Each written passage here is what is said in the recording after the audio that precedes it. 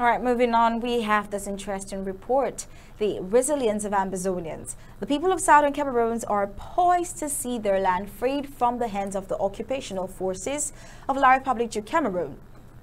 The civil disobedience strategy instituted by Ambazonia is greatly paralyzing La Republic run activities and institutions in Ambazonia.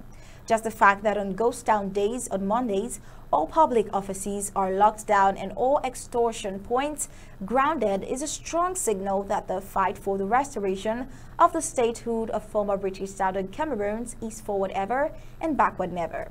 Now, why can the Republic of Cameroon not read the handwriting on the wall? Well, today, Monday, April 10, 2023, the ghosts are very much present on the streets in Ambazonia and most especially Bamenda. Well, Undaunted had a tour around the town. The streets are void of commercial bikes, vehicles, and even private mobility uh, mechanisms. Only a few people are on the empty streets as uh, due respect of Monday Ghost Towns is an issue for everyone. Taking a look at the few on the streets, they are either going to the farms or for sports, evidenced by the farm tools that they carry.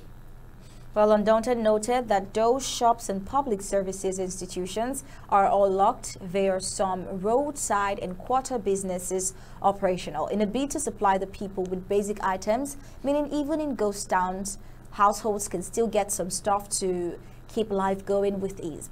Sports groups have the highest turnouts, but on Mondays, many quarter developments come together and are rescheduled for Mondays. It is now a day for all in Ambazonia to have a better rest with a cool head. Mondays are unique as none in having is having work pressure of any kind.